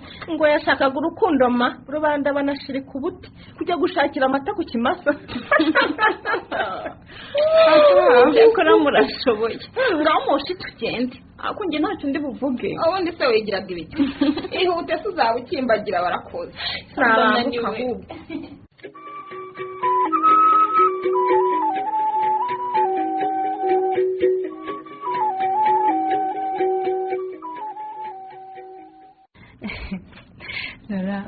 ndakumva. Umbabarira ntumbwiye ngo mpaguruke tubyine ndinaniriwe. Ya nanjye sinshaka kubyina. Eh, ahubwo ndifuza ko twicara hamwe utuje. Hari amagambo akomeye nifuza kukubwira. Eh? Aya magambo ko numva nteye ubwoba rora oya humura. Ngaho mbwira ngo uteze yombi. Urakoze cyane. Mbere ya byose rero nagira ngo nkwibwire neza. Eh kunyibwire n'igihe tumaranye? Cyane. Yego mana yanjye ndakuzi bihagije pe kiburire buriya rero ukeka ko ndi watandukanye cyane nanjye w'ukuri. Kwiki Eh, kushyize mu rujijo ndarugukuramo ariko. Urinde se ubundi. Buriya sinitwarura nk'uko nabikubwiye. We Eh, ngiye nitwa ruremesha. Mm. kandi sinigeze mba rwiyemezamirimo cyangwa umushoramari nk'uko nakubeshya kuki Hmm. Ah, ah, rora mbabarira pe. Ntega amatwi ariko yanjye burya wambeshye byinshi wa? Ubu se nakwizera nte ko noneho uri kumbwiza ukuri? Ndakubwiza ukuri nyamata. Ubundi se wari wambeshye iki? Niyo mpamvu nakubwiye ko ibyo ngiye kukubwira bikomeye nkanagusaba kubanza gutuza. Mana nyagasani. Ngaho mbwira nditeguye. Wihangane ntubabare ariko kandi ntutungurwe. Yego ndihangana sindi imfubyi nk'uko nabikubwiye. Ariko akanakumira noneho. Eh, Eh? mfite amatwi ariko unyumve njyewe buriya mfite ababyeyi ndetse n'abavandimwe. Eh, yewe. Erega ndumva ibyo wambwiye byose ari ibinyoma. Eh? harimo kimwe cy'ukuri. Ni uko ngukunda. Ni na yo mpamvu niyemeje kukubwiza ukuri. Umenye neza. Ngaho komeza umbwire numve. Buriya sindi umushoramari sindi na rwiyemezamirimo nk'uko nabikubwiye ahubwo ndi umutubuzi. Uvuze ngo iki- uvuze ngo uvuze ngo uri kirora? Uwo ni we njye. Nabeshyaga abana b'abakobwa mbona bafite amafaranga. Nkababwira ko mbakunda. Bamara kunyizera nkabatekera imitwe maze nkabatwara amafaranga nkigendera. Aha nimunyumvira Rwose. Eh? ubwo nanjye rero ntunkunda eh? mu by'ukuri nakwegereje ngira ngo nkwibe nk'uko nabigenzaga ku bandi bose. Ariko mu gihe ngitekereza uburyo bwiza nakoresha ngo ngucucure nisanga naguye mu rukundo. Uretse gusa kuba nananiwe kuguhemukira sinifuza no kuba nagira n'undi mukobwa ntwara ibye. Ndetse nawe natwaye ibyabo rwose niteguye kubibasubiza ubu se rora mwizere. Nyizera ibyo nkubwira ni uko. Mwizere nte wabeshya atabeshya arimo n'ubu sinzi niba ibyo umbwiye ari ukuri. Ubwo ntumbeshya rwose nakubwiye ngo nyizera. Kuri iyi nshuro nkubwije ukuri gusesuye. Gusesuye? Rwose. None ikiguteye kunyibwira wese ni iki? Buriya ikinteye kukubwiza ukuri.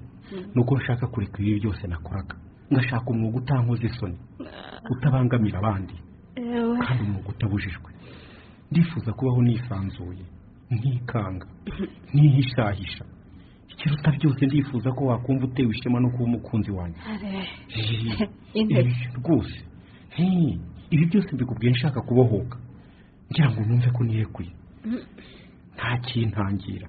Bityo urukundo rwacu ntihazagire ikiruzanamo inkomyi ni igitangaza koko. Oya, nta gitangaza kirimo ndakumva rwose. Uranyizeza ko utazongera guteka imitwe. Ndabikwijeje rwose. Uvugishije ukuri. Ukuri kuzima rwose kandi gusesuye. Ndetse nabo natuburiye ndabasubiza ibyabo. Urumva neza? Pe ntabwo nkubeshya kandi. Ngiye gushaka ibyangombwa mbe nkora tagisi. Urumva? Mu gihe ngishaka ubundi buryo bw'imibereho. Rwose singiye gukomeza kubaho ubuzima nk'ubu. Hato ntazakubaza cyangwa nkakubura ni byo. Rwose.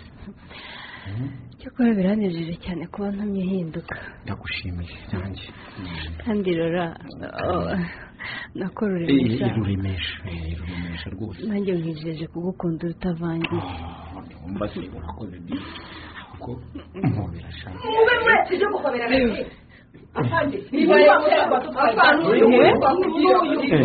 mwese muje mute abapolisi amazina se ko mwese avuga amubwiriza bundi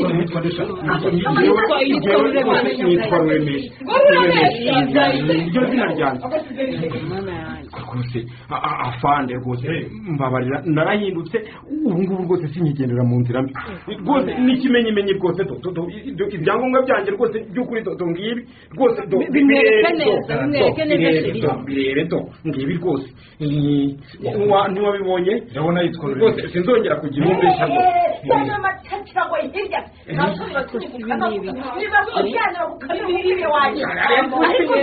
wanjye aravugisha ukuri mushatse mwamwumva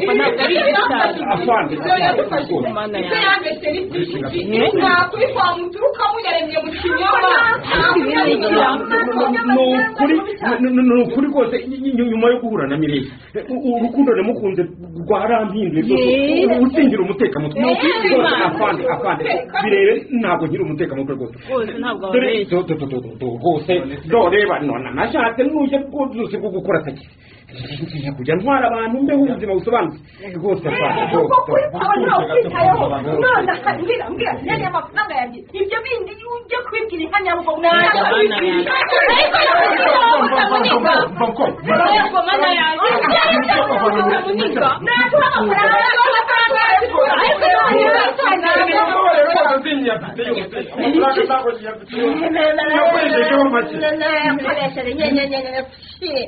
uyakoresha agatara wa mutindi we.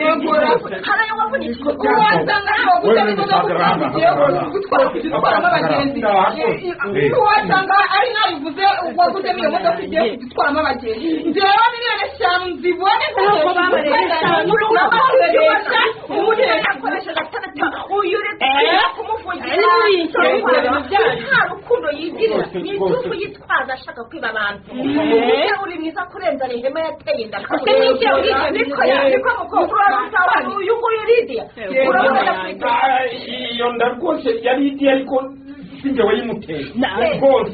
Naho rehema we twese twumvikanye ko nakubwiye utongera kuntungira inzu urwo rutoki nka Byumvikana. ni amafaranga yanjye nigenda usigare wiyagura nawe wose nawe ubonye n'uyu nguyu ni akazi ndabona atanakeye tuza icyo ukora ubu ngubu kureba hari inote gusa. Wagira ngo ntahumura mutuze buri wese ntihagire umuntu wongera kuvugira mu Eh, kandi kurwana twongera bihagarare. kandi. ibyo kwihanira ntabwo byemewe. Yego ntihagire umuntu wongera gushaka kurwana.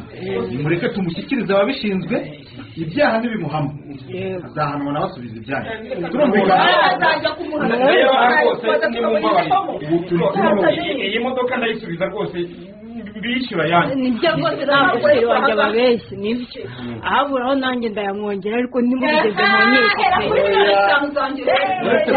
babaye ntibigeze ariko se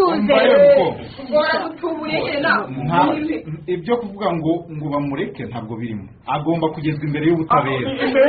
Tuza gato mukamfunga ibintu byo kumureka kwaba ari ugushyigikira ubwambuzi Aho kubyara, afande aho rwose afande rwose kirimo ureke tubikemure ku neza rwose ariko ku neza ntufunge rwose gera hano nkwereke nyura hano Murantwaye. baramutwaye ntampuwe ku mutima w'igihugu namukurikira ariko ngira ntabwo inyuma cyangwa tugende muri uyu mukino umutima w'igihuhwe wanditswe na muhorakeye viviane mwumvisemo jibril mwakiniwe na twagirayezu evariste rehema mwakiniwe na iranzi denise mubaraka mwakiniwe na mukeshimana musa hamisi mwakiniwe na ndayambaje jimmy polisi mwakiniwe na mugiraneza samweri lydia mwakiniwe na mugeni eme mukamana mwakiniwe n'uwamariya cecile didier mwakiniwe na hirwa eric jovial ariane mwakiniwe n'uwamariya olive mireille mwakiniwe na karangwa liliane naho zainabu mwamukiniwe na mukamusoni josephine. Umutoza w'abakinnyi akaba ari nawe wafashe amajwi akanayatunganya. Ni mugiraneza